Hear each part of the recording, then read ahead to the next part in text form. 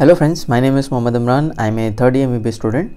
So in this video, we are going to discuss about rabies vaccines. This is a very important topic for second year microbiology exams. So let's start with this topic. Starting with the local treatment. What we should do if an animal or uh, a dog bites you. The first one is the cleaning of wound with soap and water and we should apply some antiseptics. So the wound care is very important uh, in respective of rabies and even if a patient reports late then also we should do the wound care. Because the rabies vaccines uh, stays on the skin for a long time. The second uh, important thing is we should not suture the wound. Do not touch the wound with bare hands and we should not apply any irritants like soil lime etc and uh, confirmation whether or not the animal is rabid this is required in category 2 and category 3 risk. We would study about this later uh, now let's start with the passive immunization. Uh, it is given only in category 3 bite we would study about this later. And there are two types of passive immunization available. The first one is human rabies immunoglobulin immune globulin HRIG and the second one is equine rabies immune globulin ERIG in HRIG uh, we are we should give a dose of 20 IU per kg dose 20 international units per kg and there are no side effects of HRIG. In case of equine rabies immune, immune globulin ERIG, the dose is 40 IU per kg and it is derived with the help of horse. So its origin is heterogeneous. So we are going to see some side effects like serum sickness. The rabies immune globulin should be administered within 24 hours and maximum up to 7 days. And passive immunization is only for category 3 bites we should remember this point. Now coming to the active immunization that is rabies vaccine the main topic. There are two types of active immunization. The first one is neural vaccines and the second one is non-neural vaccines. Starting with the neural vaccines it is derived from the nervous tissue of animals infected with fixed rabies virus. It is not used nowadays because it is encephalitogenic poorly immunogenic and we are going to see some neurological complications so it is not used nowadays. Uh, the examples of neural vaccines are Semple vaccine.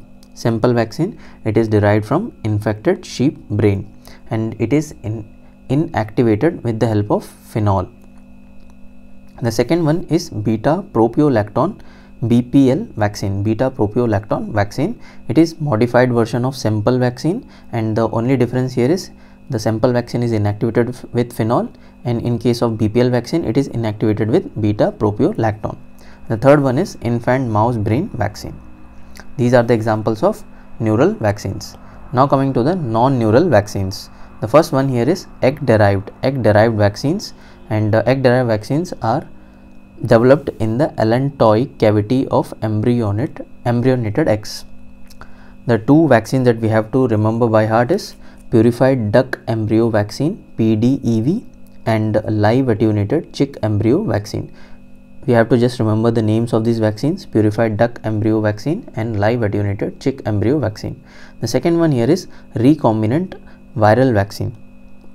In recombinant viral vaccine uh, the vaccinia virus. Vaccinia virus is another virus that carries the rabies surface glycoprotein on its surface so it is in developmental phase. The third one is the cell culture derived vaccines. These, these are the most important vaccines for rabies.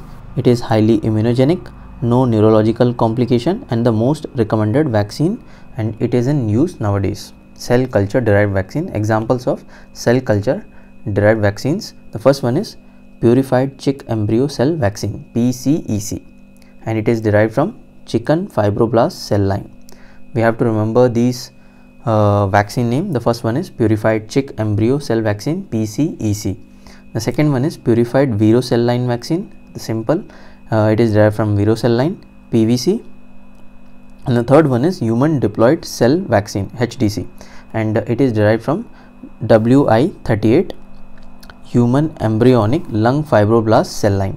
We have to remember these three names. The first one is purified chick embryo cell vaccine the second one is purified vero cell line vaccine and human diploid cell vaccine HDC vaccine.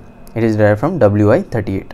Now coming to the most important part of this lecture that is risk categorization and recommended anti-rabies prophylaxis given by WHO in 2013.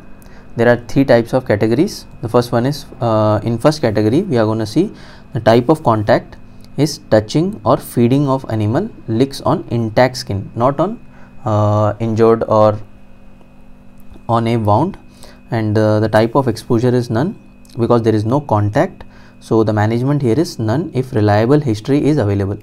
There is no management in category 1 in second category there is nibbling of uncovered skin and minor scratches or abrasion without bleeding. There is no bleeding. The important part here is in the type of contact of category 2 there is no bleeding.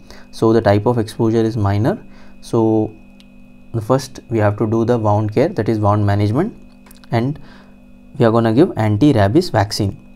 No passive immunization here in type in category 2 in category 3 the type of contact is single or multiple transdermal bites or scratches, licks on broken skin uh, that is on wound and contamination of mucous membrane with saliva. So the type of exposure here is severe and uh, here there is going to be bleeding.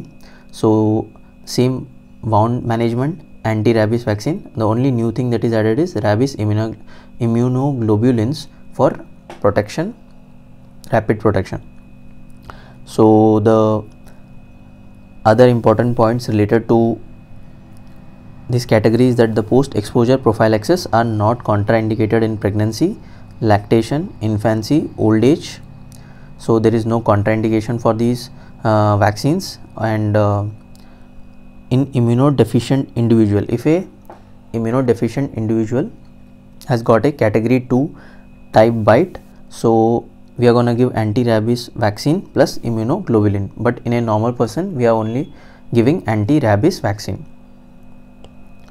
Now coming to the regimen we have to remember this regimen by heart uh, the first one is the regimen for post exposure prophylaxis just after bite.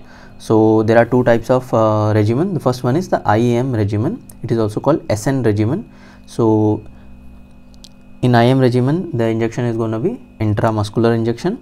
So one dose 0.5 ml or 1 ml it is given on 0, 3, 7, 14 and 28 days. That's why it is written as 1, 1, 1, 1, 1 and uh, in ID regimen that is the second regimen uh, it is also called as Thai Red Cross schedule uh, in this we are going to give uh, vaccine on two sites that is why it is written as 2, 2, 2, 0, 2 so 0.1 ml of reconstituted vaccine on two sites per visit on days 0, 3, 7, 28. 14 is not there so that's why we are we are saying 0 here. The vaccine is given on two sites per visit on days 0, 3, 7 and 28.